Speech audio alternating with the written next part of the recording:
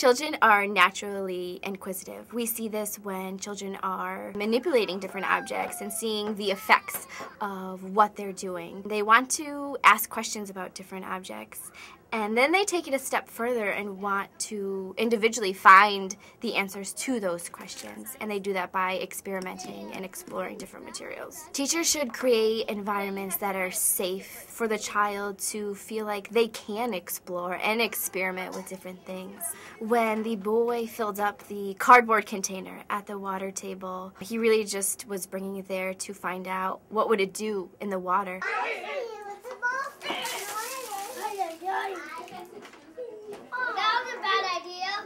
You can just see the look on his face like, oh, well, why did that happen? So I went over to just kind of prompt his thinking a little bit. What do you think?